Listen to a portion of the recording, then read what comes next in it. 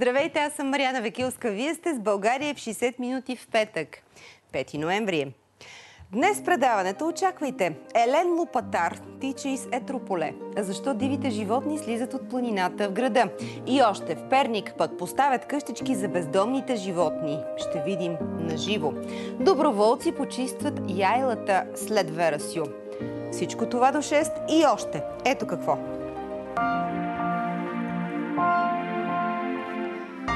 Стотици шофьори са глобени за превишена скорост заради незаконно поставен знак на пътя. Как работят новите технологични контейнери за буклук във Варна?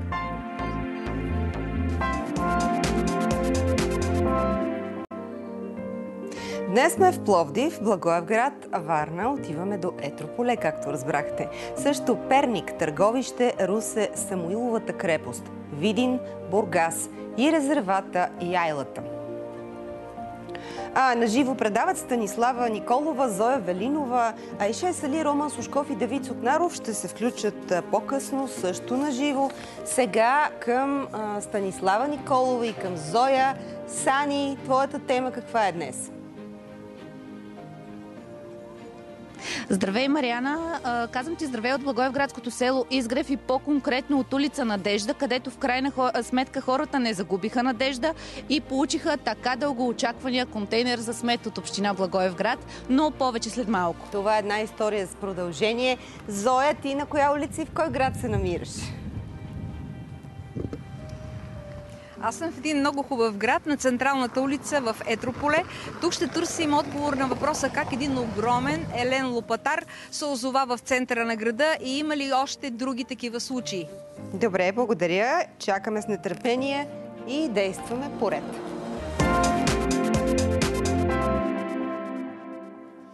И първия сюжет е за странния знак. Стотици шофьори са глобени за превишена скорост заради незаконно поставен знак на пътя Пловди в Карлово. Въпреки, че всички електронни фишове, обжалвани по съдебен ред, падат, отпадат, знакът все още не е махнат, а институциите дават противоречива информация за това, кой е отговорен за поставянето му. Почти всеки ден Николай минава с колата си по пътя Пловди в Карлово. И този знак за ограничение на скоростта, поставен малко преди село Труд, му носи и сериозни глоби. Той обаче решава да ги обжалва. Имам 10 глоби на обща стоеност 4000 лева. Всички ли паднаха в съда до момента? Остават, може би, 2-3 дела, иначе останалите няма проблем, паднаха. Според адвоката на Ивайло, глобите биват отменени от съда, защото знака е поставен незаконно и то от частна фирма, чиято база е наблизо. Пътният знак е поставен от частен субект без разрешението и одобрението на единствения компетентен за това орган, а това е директорът на областно пътно управление Пловдив. В писма към съда от областно пътно управление обясняват, че знака е поставен след съгласуване с полицията, но не и с тях. След наше питане обаче, от АПИ Пловдив отговориха, че и те са подписали протокола, с който се решава знака да бъде монтиран там още преди две години. Противоречията не свършват до тук. Оказва се, че разстоянието до следващото кръстовище е твърде малко, за да може да се отчете превишена скорост както и да поставят техническото средство, то трябва да е на разстояние поне 150-200 метра от пътния знак и буквално засича скоростта след като спре действието на пътния знак. Същата е ситуацията с ограничителен знак и от другата страна на пътя, посока към Пловдив. Въпреки, че няма нужното отстояние, много шофьори са глобени и заради него. Всеки, който не е обжалвал и електронният фиш е влязъл в сила, независимо дали знакът е законно или незаконно сложен, той е длъжен да заплати глобата по електронния фиш. Заради зачастилите случаи на отменени от съда електронни фишове за скорост в този участък. От полицията в Пловдив заявиха, че са изпратили 4 сигнала за установено несъответствие на пътните знаци до стопанина на пътя. Но не е ясно дали те ще бъдат премахнати. Ако и някъде близо до вас има подобни несъответстващи с действителността знаци, сигнализирайте ни, пишете ни, за да направим репортаж и да покажем. Продължаваме с положителна тенденция в Благоевградска област. Безработицата там намалява по последни данни на регионалната служба по заетостта. Хората без работа са близо 5000 души по-малко от миналата година по това време. Най-много са си намели работа в сферата на преработващата промишленост и образованието. Очаквано в сектора на услугите имало най-много съкръщения през последната година. Според данните, най-ниска е безработицата в областният град, следван от Сандански. Но жителите на Благоевград са на противоположно мнение. Повишава се безработицата. Младеща бяга навънка, старите не могат да отидат, остават тук. Най-трудно работа намират хората над 55 годишна възраст и тези без образование. А пък 60-то, ако не ти достига стаж, тежкоти горкоти. Да се чудиш какво да... и как да изкараш месеца. Да не можеш хляба да се вземеш. Димитър Кюлев, който е главен готвач в заведение в Благоевград, смята скоро да замине за чужбина и да потърси работа там, тъй като заплатата му е намаляла почти наполовина през последните месеци. Казва, че това се дължи на по-малкото клиенти в заведенията. Има съкръщение, намаление на персонала, там идва и намаление на заплатите. Какво да правят тук? С, с 500 лева, 600 лева как да се изхранваш? То недопустимо. При положение, че си взимал 1000 лева, сега взимаш 500 лева оправдани цени и същи, няма работа, няма пари. На този фон ресторантьори и хотелиери от курортите в областта се оплакват от липсата на работна ръка. Според тях масовото напускане от страна на служителите им се дължи на факта, че се притесняват до кога и как ще могат да работят предвид променящите се противоепидемични мерки. Търсят работа в други сфери.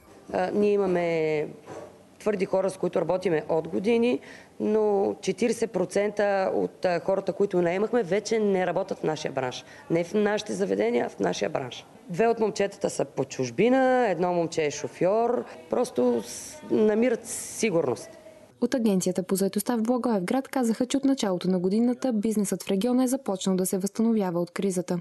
Доста от работодателите стартираха а, своята дейност и дори от тях повечето си върнаха и голяма част от персонала. Между другото, тук искам да кажа, че само за месец септември тази година на територията на а, област Благоевград са заявени около 650 свободни работни места. С най-висока безработица в региона са общините Белица и Якоруда. Сега отиваме във Варна, за да ви покажем една от най-модерните системи за събиране на битови отпадъци. На мен лично много ми се харесва да не докосвам сърце капака на кофата за буклук. Тази система е иновативна и се въвежда поетапно в цялата страна и вече работи успешно в градове като Париж, Барселона, Истанбул, че и в Рио де Жанейро чак. Как работи тази нова система за сметосъбиране във Варна, сега ще ни покаже Нивелина Няголова. От няколко месеца варненци ползват нови контейнери за смесени битови отпадъци. Около тях е сравнително по-чисто, защото капакът се отваря с педал, след което автоматично се затваря. Така отпадъците не се разпиляват от вятъра и не се разнасят от животните. Не се допускат течове от тези контейнери, тъй като имат допълнителни отдолу приспособления, където се събира инфилтрата. До този момент във Варна има поставени близо 200 нови контейнера, а до една година трябва в целия град да има само такива съдове. Всеки от тях е с датчик, който подава сигнал до оператора, когато над 70% от него се напълни с отпадъци. Изпразването на съдовете за смет е изцяло автоматизирано. Това става с новите камиони, които са с електронно оборудване и се обслужват от един човек. Мариана, ето така изглежда работното място на шофьора на тези специални камиони. Тук е пълно с най-различни копчета. Има джойстик, има камери. Изрично бях предупредена, лично аз, да не пипам нито едно копче. А така обичам да натискам разни копчета. Но сега няма да правя бели, ще сляза от камиона, за да ви покажем как точно се случва разтоварването на най-новите контейнери в град Варна. Това е Стоян. От 17 години управлява камион, с който събира отпадъците във Варна. До сега винаги е бил в компанията на още двама работници, но с новата система се справя сам. И това вече не е обикновен камион, а компакторна машина. Отговорността е по-голяма. Самата технология изисква по- повече концентрация за самата работа. И не внимаваш ли, стават грешки. Въпреки, че системата е нова за Варна, Стоян се справя перфектно. Като истински властелин на компакторната машина, само с един джойстик и за по-малко от 50 секунди почиства един контейнер. Даже не успява и задръстване да причини на улицата, докато работи. Пускам петиото и с джойстика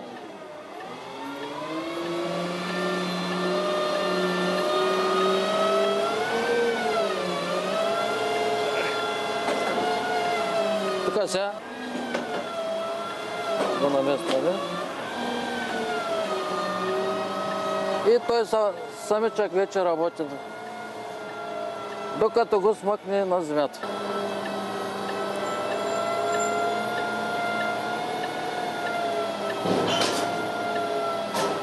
Джойстика не се пуска, докато не свърши операцията.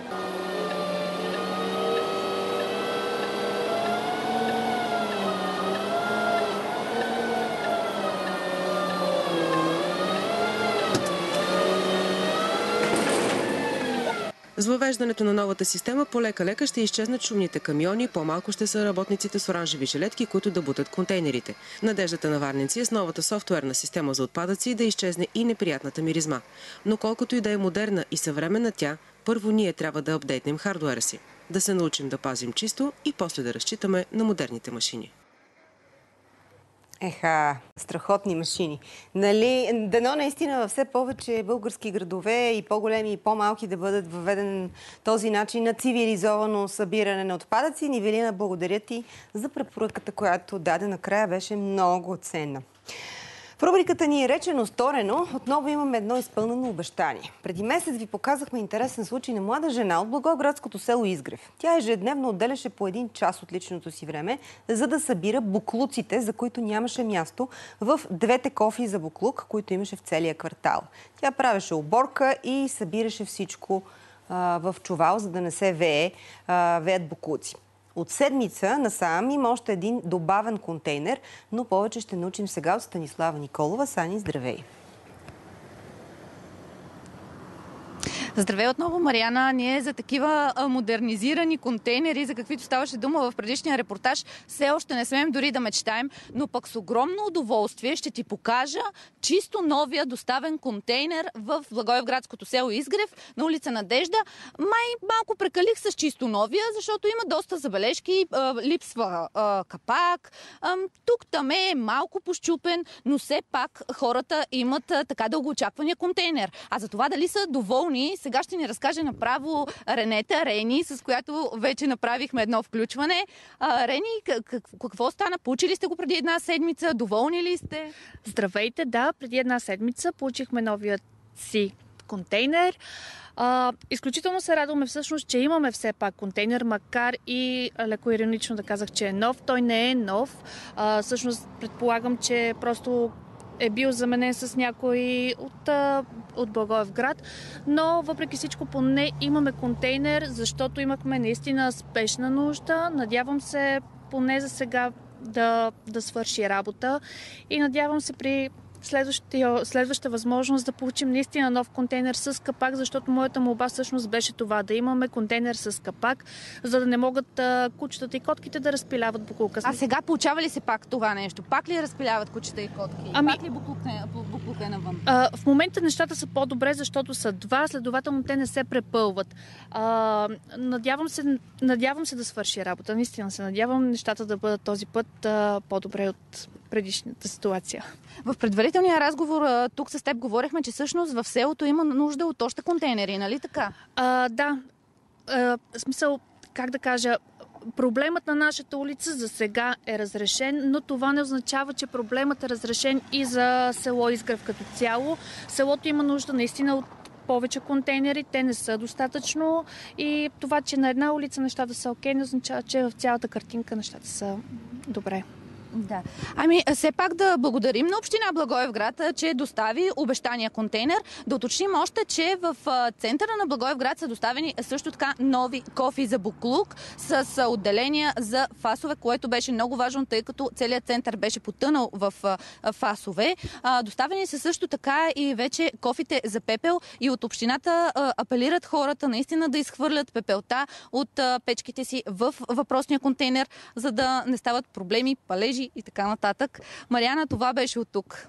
Сани, благодаря ти и пожелавам на хората от сел Изгрев техните кофи за буклук, контейнери за буклук, скоро да имат и капаци.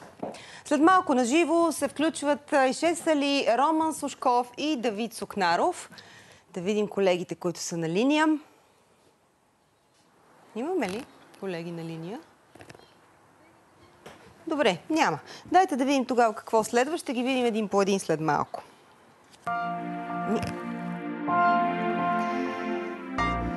Нова площадка за свободно разхождане на кучета в търговище. Трета име. Доброволци почистят резервата яйлата след сагата Звера Сю.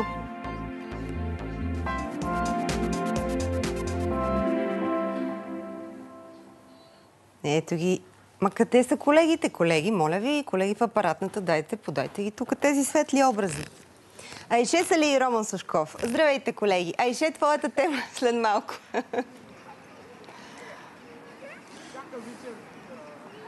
Здравей, Мариана! Ние се намираме в Перник, където има една много добра инициатива в подкрепа на бездомните животни. Инициативи, каквито и ние много често сме подкрепили в предаването България в 60 минути. Тук става дума за едни къщички, много красиви, в които бездомните животни могат да се приютят в тези студени дни.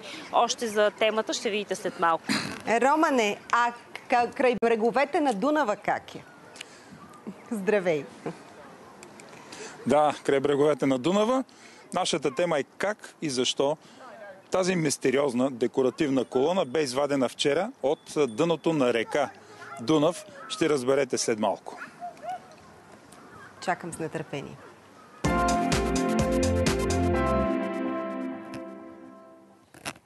И ето я и Зоя Велинова, за да ни разкаже повече за един елен, който е вършал из улиците на Етрополе. Клипче с тези кадри става все по-популярно в социалните мрежи. И защо всъщност дивите животни изобщо влизат в града, защото все повече лисици виждаме в големите градове. Как да действаме, ако ги срещнем, освен да ги снимаме, разбира се, за да стане популярно нашето видео? Кой го е страх повече? Зоя Велинова сега ще ни каже или поне търси отговори. Те в центъра на Етрополе. Зоя, здравей отново. Здравейте! Истински се забавлявах днес с тази много интересна тема. Оказва се, че тя е интересна и за жителите на Етрополе.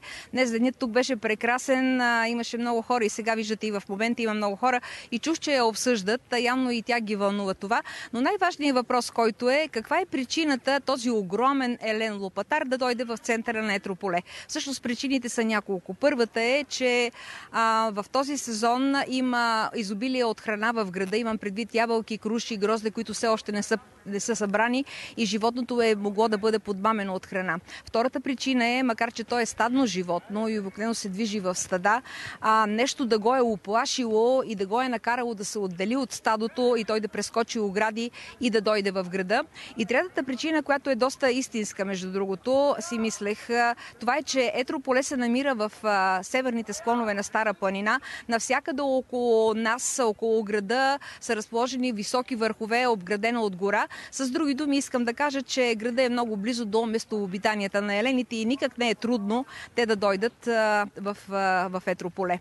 А, другата, другия много важен въпрос е а, а, откъде би могъл да дойде този елен, защото в района има едно държавно горско стопанство Етрополе с огромна популация на не само на елен лопатар, но на други благороден елен, на прасета и всякакви други животни, диви животни. А в същото време има и три ловни а, района, които държавата е отдала на концесия на частници за ловуване. Там също има много животни. Но ето подробности от представител на общината в Етрополе и от директора на горското стопанство инженер Иванов да видим.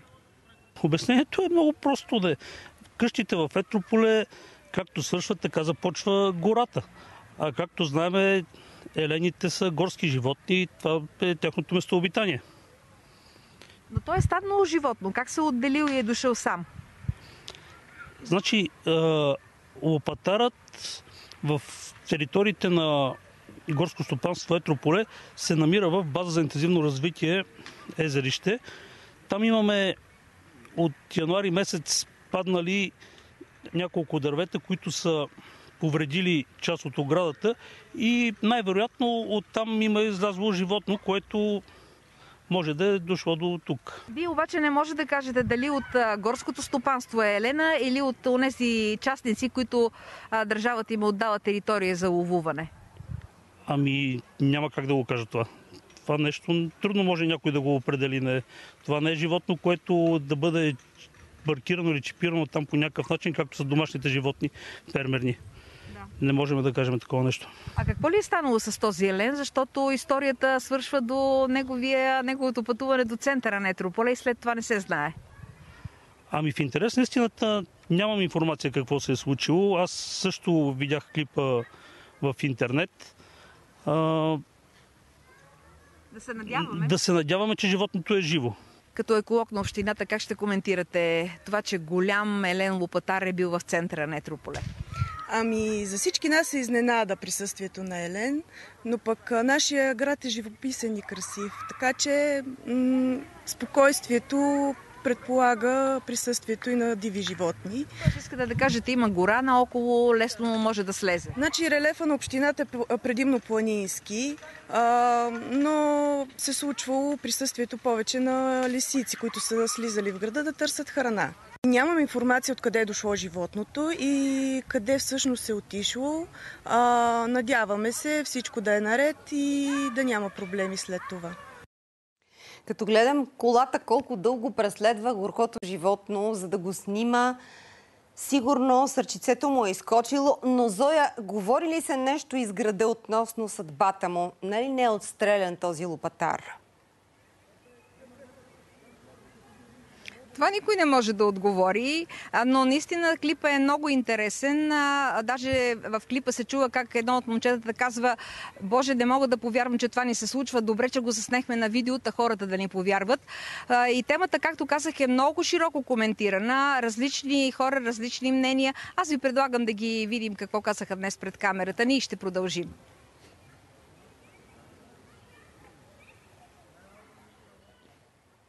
Ми, на мен ми е странно, тъй като що ме слезнал в града, това не е нормално. Радвам се. Гледах видеото сутринта. Да. И Елената е много красив също. Миролюбиви ли са етрополчани? Дали ще го пощадат, ако го срещат? Гаранция. Че ще го пуснат? Ще да. Смятам, че е добра поричба. Аз всъщност преди години видях пред съда в горната част на града Елен, така че се среща. Дали е оцелял според вас? Също е възможно. Въпреки, че имаме много браконьери, аз съм абсолютно против ловджиите и заради това се изказвам, че трябва да бъде много по-контролирано лова. Има ли ловци тук в района? Ами, по принцип има, ама явно няма, щом Елена е дошъл да ги търси.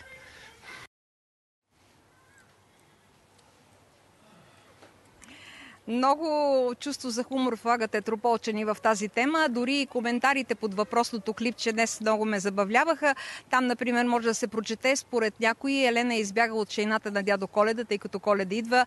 Други казват горкото животно дано да е оцеляло, а пък трети дори намират начин да се пошегуват с това време на пандемия. Казват, дядо Коледа е искал да вакцинира Елена и той е избягал. Много може да говорим по темата, но на финал искам да ви кажа, че аз истински се забавлявах и искрено се надявам, като голям любител на животните, Елена да се е прибрал при стадото си и сега да бъде в гората. Всички Към вас, колеги. надяваме а, на това, Зойче, защото цялото ни предаване и целият екип а, се отнасят с уважение, с а, внимание и с любов към животните.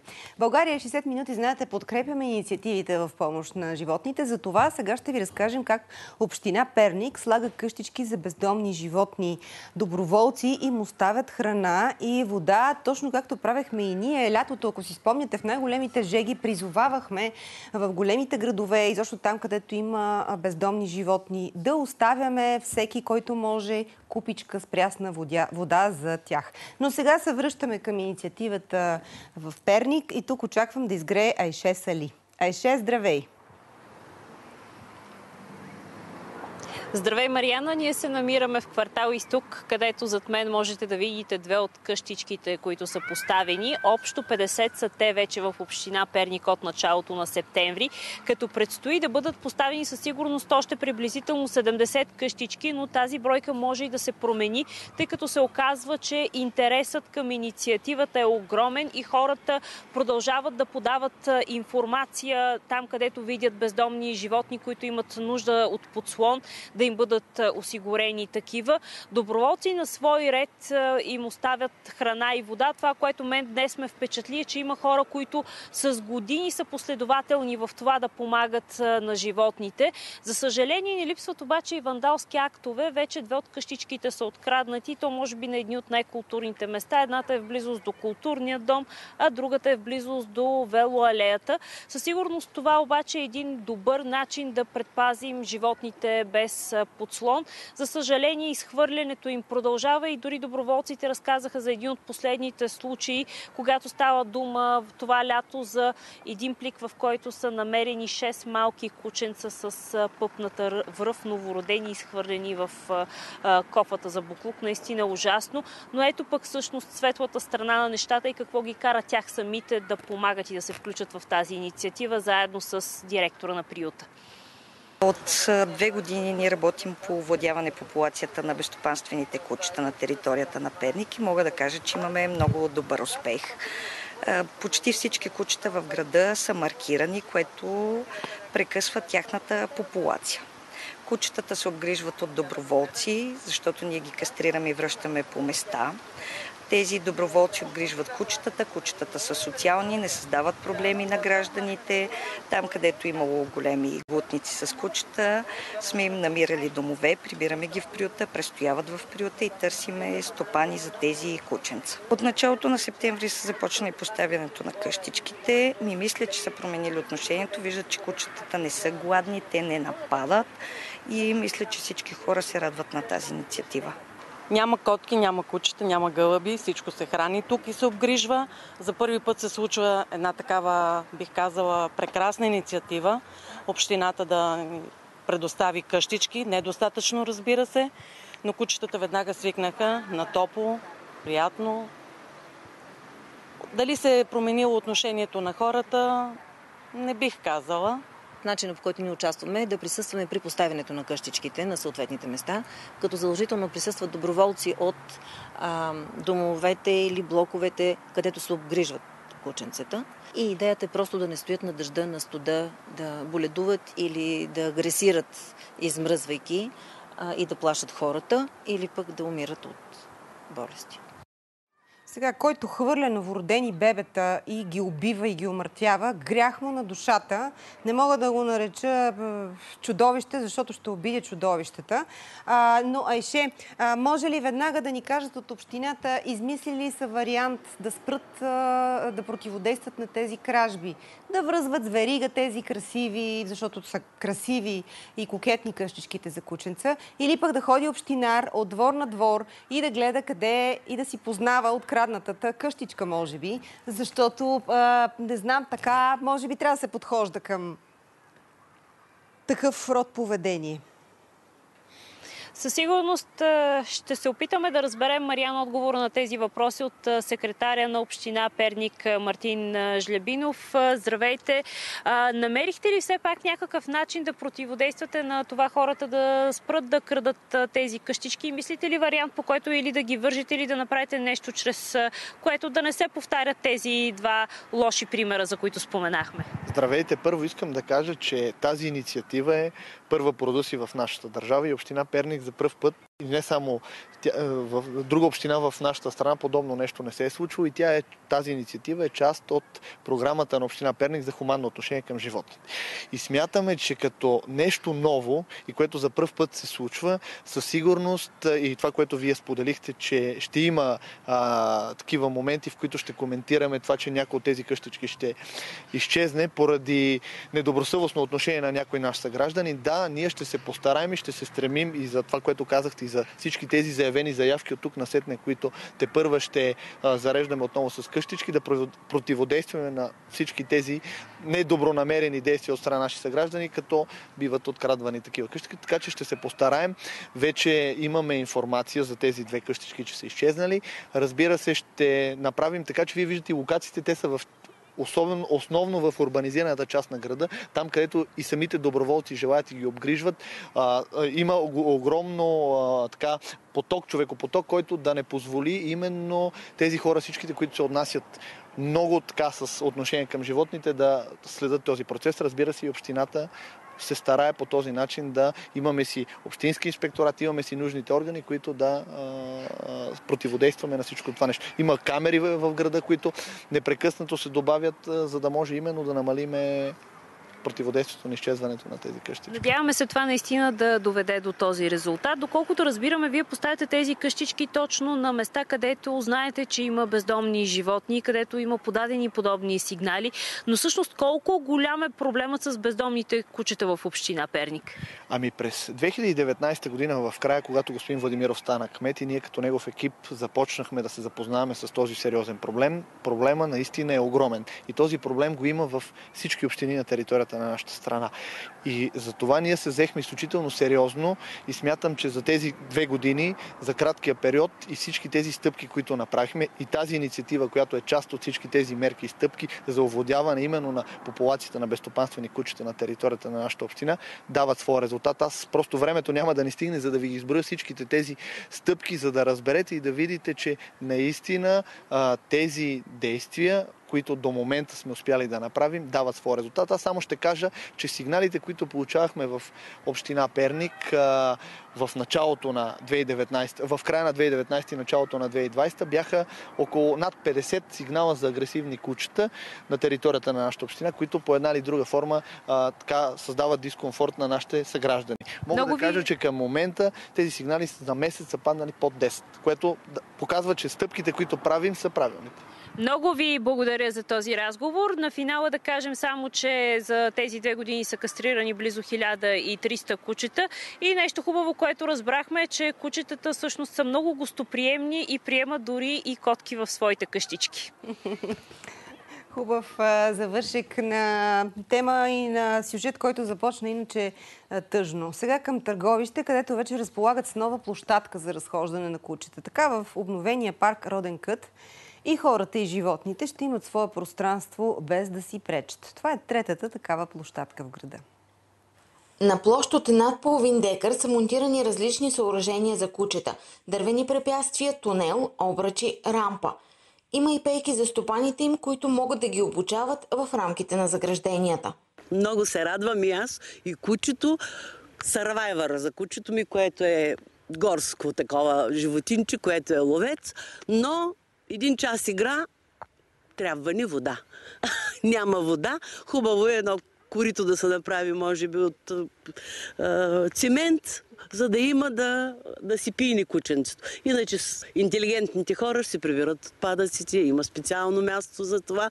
Ката добре е направена, на хубаво място, голямо е, за големи кучета. Водичка да има за кучетата. Ако са сложите ни камери, за да може да се запази по-хубаво площадката, за да не идват да пият тук и да чупят играчките на кучетата. От общината се надяват с изграждането на специалната площадка, кучетата и хората да имат отделни пространства за почивка и да не си пречат. Очакванията ни с изграждането на тази нова площадка, която е трета за нашият град, е да ограничиме свободното пускане на домашните любимци в зелените площи и детските площадки. Според кучешките стопани, другите две площадки, изградени преди години в търговище, вече са занемарени. Дърветата много падат, изгниват, падат и никой не се грижи за тях. Разпадат се от дъжда, дърветата, кучета дете играят и рядко се чистят. Предстои да мине комисия, която да извърши оглед на тези площадки и а, след което да се предприемат мерки по съответно,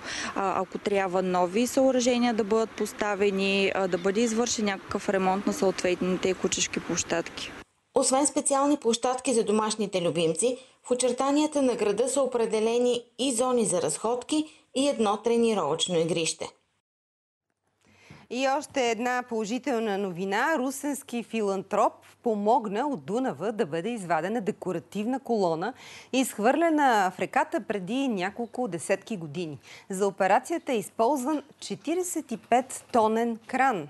Колоната не отстъпва по размери и по тежест, тежи 600 кг и е поставена отново на кея. На живо от Русе включваме Роман Сушков, за да видим този паметник на исторически паметник, може би. Роман, здравей!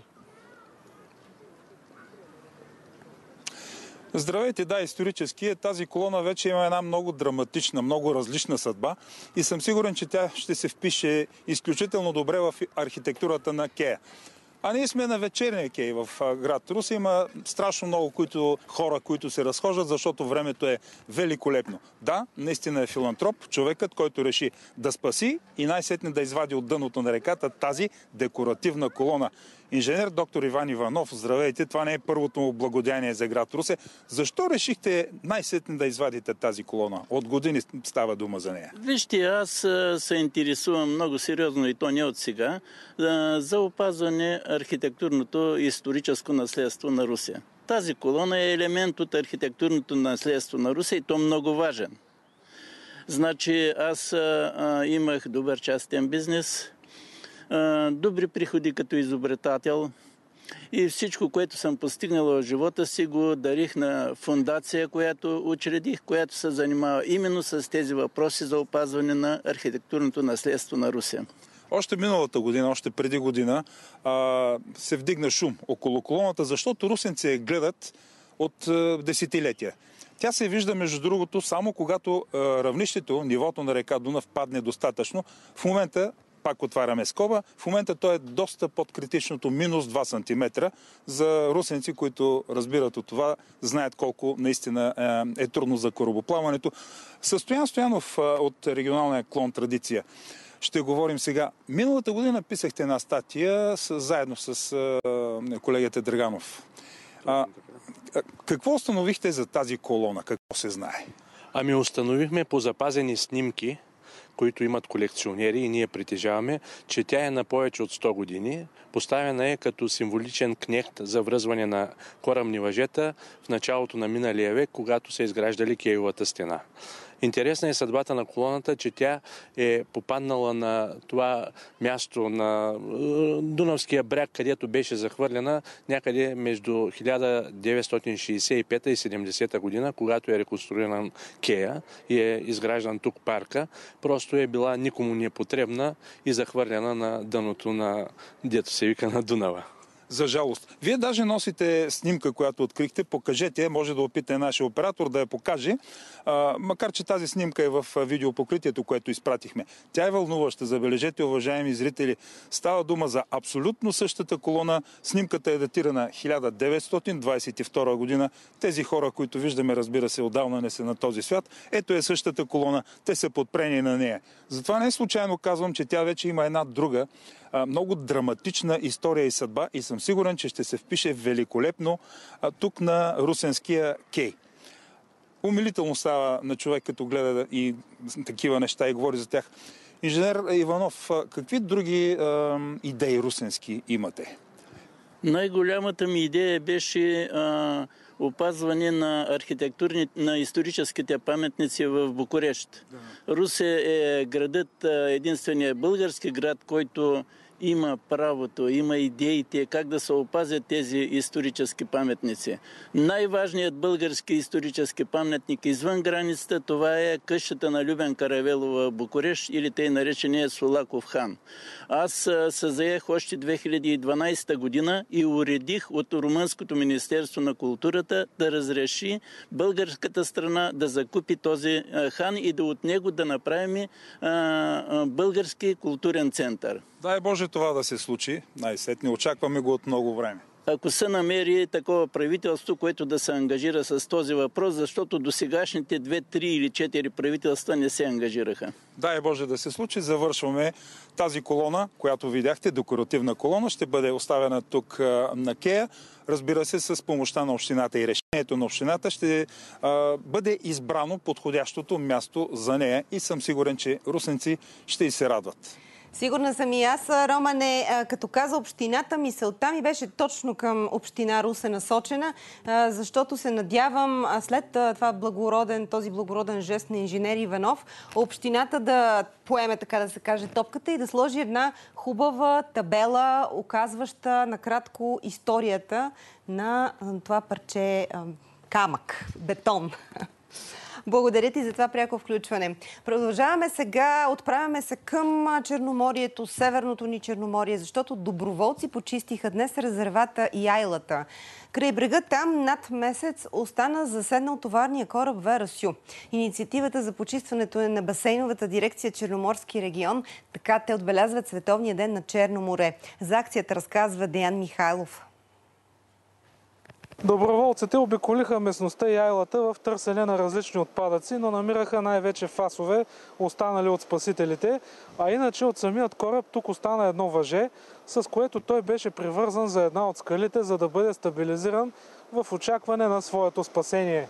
Доброволците бяха екипирани с ръкавици и чували. Те огледаха и най-трудно достъпните кътчета на резервата за изхвърлени отпадъци. Защото живея в тази страна и не смятам, че Верасу е повод да правим някакви акции. Призовавам всеки един от нас да бъде отговорен към природата, защото а, тя е нашето бъдеще. Ние сме тези, които трябва да я пазим. На пръв поглед е чисто.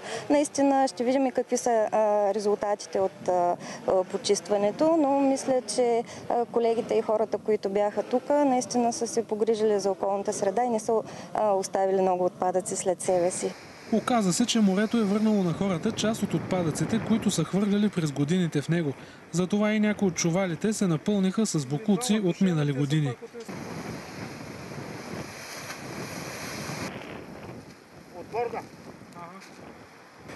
Почистването се включи и заместник министърът на околната среда и водите Петър Димитров. Той каза, че всеки понеделник се провежда мониторинг за състоянието на морската вода край мястото, където заседна Вера Су показват драстично спадане на концентрацията на азот амония в сравнено с пиковите стойности, които бяха по време на разтоварването на кораба. Вече стойностите на азот амония са под 0,12 стотни, което може да се каже, че морето възстанови стойностите от преди Участниците в почистването на яйлата получиха шапки и тениски за добре свършената работа. Знаете, от септември насам имаме нова рубрика на къде през почивните дни, в която даваме идея, хубави, идея, хубави идеи за това къде можем да тръгнем в петък или в събота, за да прекараме приятно и да си починем пълноценно. Днес ще ви заведем в Национален парк музей Самуилова крепост, където вече има параклис. То е дело на дарители отново и ще носи името на свети Архангел Михаил. По него има още какво да се довършва, по параклиса имам предвид, но Деси Малинова ни води там сега. Здравей, Мариана! Ние се намираме на най-живописното място в самото начало. Със сигурност още много живописни картини зад мен може да видите, но ние се намираме в началото на Национален парк музей Самуилова крепост, където е и позициониран вече Параклиса Буквално до няколко дни се очаква той да заработи, но вървят довършителни работи и още красоти, които ще бъдат свързани около него. Облагородява се терена. Какво точно се прави и в момента ще ни каже госпожа Стоянова от строителния отдел. Здравейте! Здравейте! Много се радвам, че сте тук при нас на място. Да, както виждате, имаме параклис, дарен от семейство от Кресна, Юлия Иван Митови. Имаме право да ги кажем. Да. Кои са, нали? Благодетели, наши приятели на, на природата, приятели на историята, които искаха на това място, точно в памет на Самуиловите войни, да поставят параклис, да поставят на такова сакрално място, където хората да се помолят, да а, намерят връзка с Бога и точно тук в тази паркова среда да направим такова едно място за уединение, след като са посетили Самуиловата крепост туристите, на излизане съвсем на в началото на паркинга се намира самия параклис. Ще работи а, постоянно, ще бъде свободно ползване от хората. И... Как ще става това? Всъщност всеки ще може да влезне, да си запали свещичка и да остави някакви парични средства, да. каквито прецени. Касата, която ще бъде там на дарение, ще бъде на абсолютно свободен принцип. Така че зоната се надяваме наистина да стане приветлива, хората да идват тук с радост, с удоволствие и освен да посетят културно-историческото място, да имат възможност за почивка, за уединение и за свързване с природата. Намирайки се в подножието на планина Беласица, за това приветстваме всички жители, гости да заповядат, да видят, наистина се случват нови интересни неща тук. Струва си човек да дойде и да посети обекта. Може би да кажем на финала, какъв е входа или какви са изискванията за да се посети Националния парк музей Самуила Крепост? За самата музейна експозиция се изисква зеления сертификат, така както е по заповед на министър на здравеопазването, а за парковата среда няма ограничение, която е една основна част всъщност от самата Самуилова крепост, така че гостите могат спокойно и без сертификат да посещават. Има достатъчно място, достатъчно пространство, река минава тук, планина и паркова среда прекрасна, така че заповядайте. А, като време и като дни има ли някакви ограничения? Всеки ден работи, всеки ден е отворено. Има човек постоянно. Парковата среда е отворена нощно. Самата музейна експозиция до 5 часа работи. Много ви благодаря. Наистина изглежда по един прекрасен начин. Още се облагородява, ще стане значи още по-красиво и само до няколко дни пък ще бъде напълно завършен. Така че като разгледате целият музей, цялата крепост, всичкото това национално богатство, да можете спокойно да запалите и по една свещичка. За здраве и в памет на Самуиловите войни. Благодарим ти за тази разход. Къде си дарители, благодетели, хора, които градят всички те ни вдъхновяват. Хора, за които разказва предаването България в 60 минути и носи вдъхновение и на тези, които го правят, и на тези, които го гледат. Продължаваме след малко.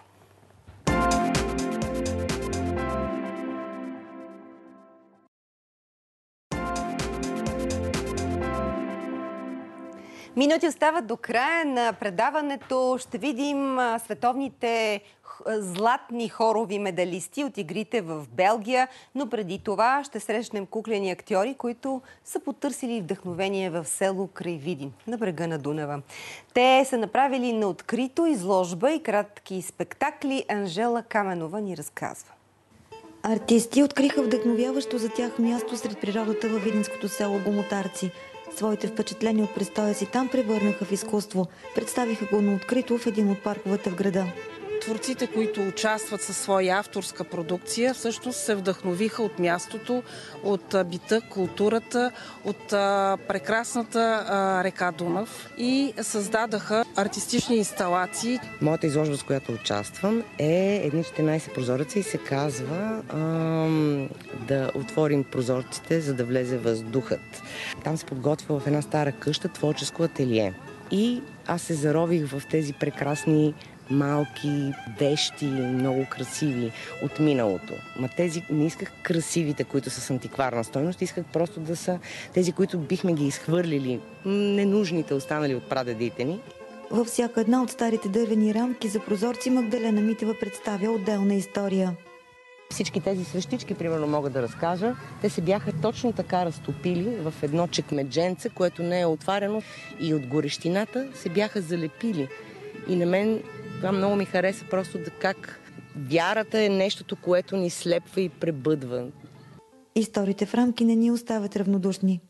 Дядото е лозар, бащата е лозар и дете. Това са три поколения лозари. А лозето седи изсъхнало навсякъде и няма кой да се грижи вече за него. Въпреки това има любов в това нещо, в няма как, ако не ни стане тъжно и ако не ни удари в сърцето, няма как ние да се събудим. Кукленият човек на Красимир Кирчев се опитва да открие своите възможности и ограничения. Тези кукли, общо взето, изследват чрез едни тръби границата на човешкото и на живото. Тоест, колко малко нещо можем да наречем живо същество и кога това живо същество от някакво си странно същество се превръща в човек, т.е. границите на човека. В жива статуя се превръща чистачът, който Надежда Гончева представя. Това е чистачът. Той е много двусмислен характер, тъй като може да се тълкува като просто чистач на улицата, което е изключително добро в днешно време, и като чистач на души. Той е метален, патиниран от, от времето. Това е той, чистачът. Магдалена Митева превръща в ангел ненужна стара мрежа за прозорци. Когато духът напира, тя се издува, устарява и изгнива, но минава въздуха. Шапката над пространството, което е в гомотарци, се казва аерариум. То е мрежа, с която минава въздух. Нашето послание чрез Дунавския аерариум е да съхраним човечността, да съхраним светлината, да съхраниме баланса с природата и човек. Събитието е поклон към предците ни, казват артистите. Благословени да са тези хора, които с своя талант е, карват и палят искрата там в, на площада, където минават хората и предават вдъхновението от човек на човек. Благословени да са и за това, че изразяват себе си чрез своя талант. България има златен медал от световните хорови игри в Белгия, така че с това завършваме предаването и с гордост ви представяме талантите от Бургас, които са завоювали с гласовете си почетното отличие. Давид Сокнаров ни среща с хористите. Давид, здравей! Здравейте! Спокойно мога да кажа, че Бургас е столицата на музиката и на музикалните таланти. Доказателство са тези млади хора, които тук са с мен. Вокален ансамбъл Фортисимо. Само преди дни те покориха световната сцена, като спечелиха цели два, ето виждате ги, златни а, медала от а, световните игри. Каква беше емоцията и малко повече да ни разкажете за вашия успех? Сега ще питаме и Велина, част от а, тези невероятни млади хора. Здравейте! Емоцията беше уникална. Чувството не може да се опише. Да спечелим два златни медала в двете категории, в които участвахме да бъдем най-добри сред чужденците, да пеем два пъти химна на България пред тях. За нас е огромна чест. Никой не го очакваше и още ни държи емоцията. Каква беше конкуренцията? Доста силна. както казах, не очаквахме толкова голяма победа и в двете категории. те също много ни се радваха на успеха и ние даже се запознахме с тях, имахме комуникация, играхме игри заедно, беше много забавно. А, Мариана, това е една малка част от а, целият ансамбъл. Просто а, в момента а, някои от тях са студенти, други са в а, чужбина. Ще попитам а, Стефан. А, ви разказа преди малко, че по а, малко по-труден начин се случват репетициите сега, когато повечето от вас а, пораснаха. А, как успяхте да се, да се стиковате? Ами доста е трудничко, защото, а, както разбрахте малко по-рано, се събираме от доста градове, нали, София, Пловдив и така нататък. Дори имаме и човек в Англия, който специално идва, т.е. тя. А, репетициите са доста трудни, това е огромно препинание за нас, но няма как. А, имаме си цел и за да я постигнем, трябва да, се, да направим абсолютно всичко. За теб лично каква беше емоцията, когато чух химна на, на България и бяхте изправени като първенци на сцената в Белгия?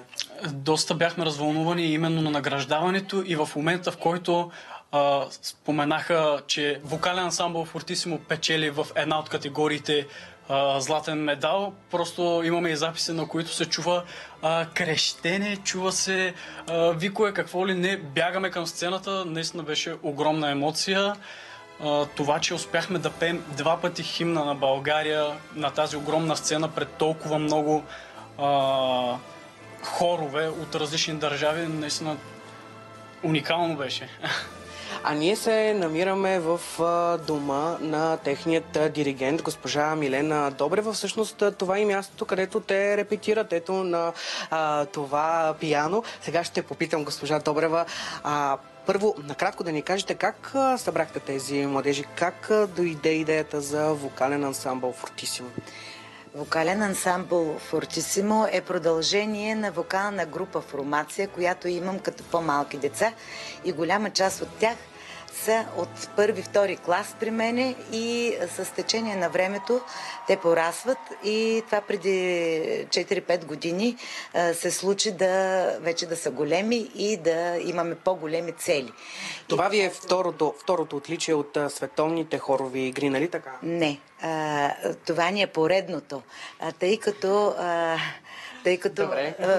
2017 година а, отидахме за първи път на такова световно първенство в Рига, където за очудване не само наше, предполагам на, на, много, на много хора, защото за първи път се явяваме на чужда сцена.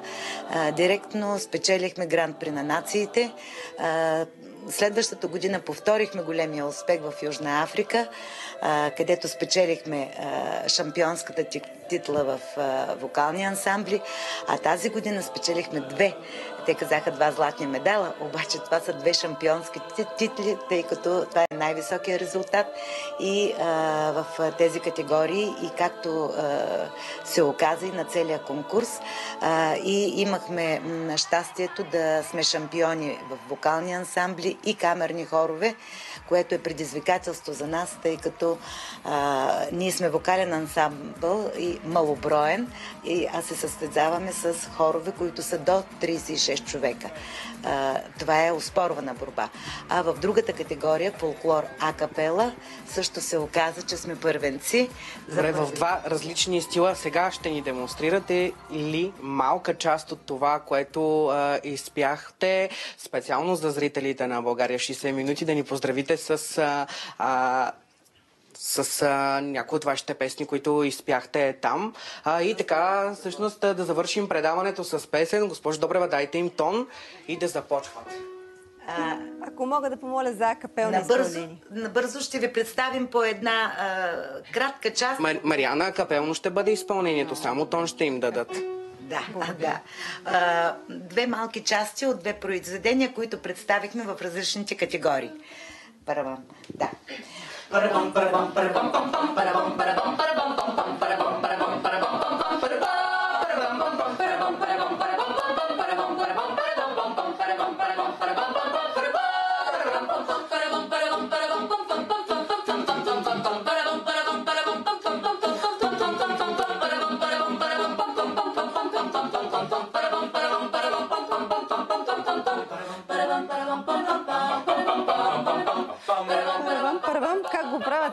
тези млади, талантливи деца на България с такава лекота, но така е при талантите. Да са ни живи и здрави и да ни прославят тези талантливи български деца, да са ни здрави и всички други деца на България. Приятна вечер и хубави почивни дни. Ще се видим отново в 5 в понеделник.